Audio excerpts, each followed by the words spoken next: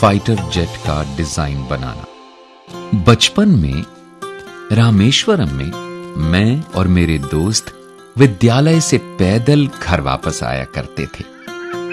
हम रोज गाँव के तालाब के किनारे कुछ देर रुकते। मेरे दोस्त तालाब की लहराती सतह पर कंकड़ फेंकने का अभ्यास करते और मैं बैठा सारसों और समुद्री पक्षियों को आकाश में उड़ान भरते देखता।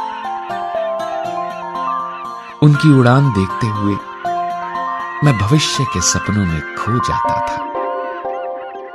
जैसे जैसे मैं बड़ा हुआ, मुझे अपना लक्ष्य स्पष्ट दिखाई देने लगा। मेरी समझ में आ गया था कि अपने सपने सच करने के लिए मुझे इंजीनियरिंग की पढ़ाई करनी होगी। मद्रास इंस्टीट्यूट ऑफ़ टेक्नोलॉजी तकनीकी अध्ययन के लिए दक्षिण भारत में सबसे अच्छा संस्थान था। मैंने बड़ी मेहनत से पढ़ाई करके स्कॉलरशिप हासिल की ताकि मैं इस संस्थान में पढ़ सकूँ।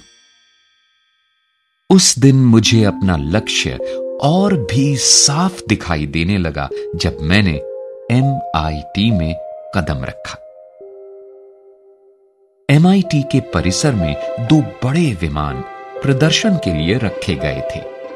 मुझे अच्छी तरह याद है कि बाकी छात्रों के छात्रावास में चले जाने के काफ़ी देर बाद तक भी मैं विमानों के पास बैठा रहता था।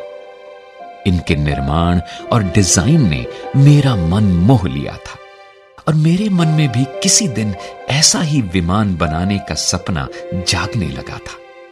इंजीनियरिंग की पढ़ाई के दौरान आखिरी प्रोजेक्ट के लिए मुझे कक्षा के चार और साथियों के साथ मिलकर एक फाइटर जेट विमान डिज़ाइन करने को कहा गया। हमने काम आपस में बांट लिया। एक दिन मेरे काम की प्रगति की जानकारी लेने के बाद हमारे अध्यापक ने मुझसे कहा, अब्दुल, मैं तुम्हारी कार्य योजना से सचमुच निराश हुआ हूँ। मैंने तुमसे कहीं बेहतर काम की अपेक्षा की थी।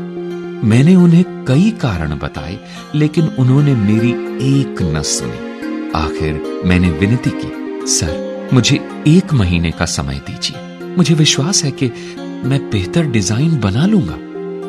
उन्होंने मुझ पर नज़र डाली और बोले, देखो नौजवान, मैं तुम्हें तीन दिन दे रहा हूँ। अगर सोमवार की सुबह तुमने मुझे इससे बेहतर डिज़ाइन न दिखाया तो शायद तुम्हें अपनी स्कॉलरशिप से हाथ धोना पड़ेगा। मैं स्तब्ध रह गया। मेरा भविष्य, मेरे सपने स्कॉलरशिप पर टिके थे। उसके बिना मैं कुछ नहीं कर पाता। मेरे पास डट कर काम करने के अलावा कोई चारा नहीं था। उस रात मैंने पलक तक नहीं झपकाई। अगली सुबह। बस घंटे भर आराम किया। जरा सा कुछ मुँह में डाला और फिर काम में जुट गया। रविवार की सुबह मैं काम खत्म कर ही रहा था कि अचानक मुझे लगा जैसे मेरे पीछे कोई खड़ा है। मुड़कर देखा तो पाया मेरे अध्यापक मेरी ड्राइंग को बड़े ध्यान से देख रहे थे। मेरे काम को अच्छी तरह जांचने के बाद उन्होंने मेरी पीठ थपथपाई और बोले, मैं जानता था कि काम पूरा करने के लिए बहुत कम समय देकर मैंने तुम पर दबाव डाला। लेकिन मैंने कभी उम्मीद नहीं की थी कि तुम इतना बढ़िया काम कर दिखाओगे। अध्यापक जी की बात सुनकर मुझे इतनी राहत और खुशी मिली कि मैं भूल ही गया था कि पिछले तीन दिनों में मैं खाना, सोना सब भुलाकर काम में जुटा रहा था। न सिर्फ़ मेरी स्कॉलरशिप जारी रही, बल्कि मद्रास इंस्टीट्यूट ऑफ़ टेक्नोलॉजी की परीक्षा भी मैंने बहुत अच्छे अंकों से पास की। मैं विमान का डिज़ाइन बनाने का अपना लक्ष्य पाने में सफल रहा था, और अब विमान उड़ाने के अपने सपने के भी बहुत करीब आ गया था। मैं सोचकर ही उल्लास से भर उठता था कि बचपन में देखे समुद्री पक्षियों की तरह मैं भी जल्द ही आकाश में उड़ान भर पाऊँगा।